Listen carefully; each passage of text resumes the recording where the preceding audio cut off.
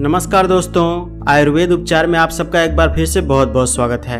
Friends, आज की इस वीडियो में मैं आपको बताऊँगा कि कैसे आप अपने आँखों के पास हुए काले घेरे को हटा सकती हैं। तो फ्रेंड्स, इससे पहले आपसे एक रिक्वेस्ट है कि यदि आप अभी तक हमारे चैनल आयुर्वेद उपचार को सब्सक्राइब नहीं किया है या फिर आप पहली बार हमारा वीडियो देख रहे हैं तो जल्दी से जल्दी हमारे चैनल को सब्सक्राइब कीजिए, ताकि मैं जब भी कोई नया वीडियो अपलोड करूँगा तो आपको उसका नोटिफिकेशन तुरंत मिल जाएगा।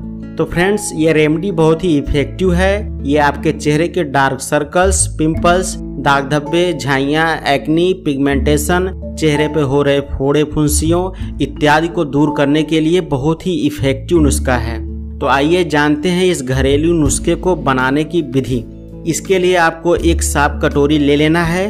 उसमें दो चम्मच नारियल का तेल और आवश्यकता अनुसार थोड़ा सा कपूर अच्छे से कूट कर नारियल के तेल में अच्छे से मिला लें। फिर थोड़ा सा रुई लेकर अपने चेहरे के डार्क सर्कल्स एरिया पर लगाएँ। लगाने के बाद 15 मिनट उसको ऐसे ही रहने दें। फिर 15 से 20 मिनट बाद उसे नॉर्मल पानी से वॉश कर लें, धो लें।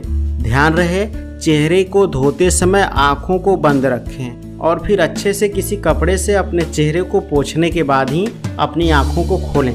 फ्रेंड्स, जहाँ तक हो सके इसे शाम के टाइम पर यूज़ करें। यह उपचार करने के बाद धूप में ना जाएँ। यह उपचार आपको दिन में दो बार करनी है। इसके रेगुलर इस्तेमाल से आपके चेहरे के डार्क सर्कल्स आसानी से गायब हो जाएँगे।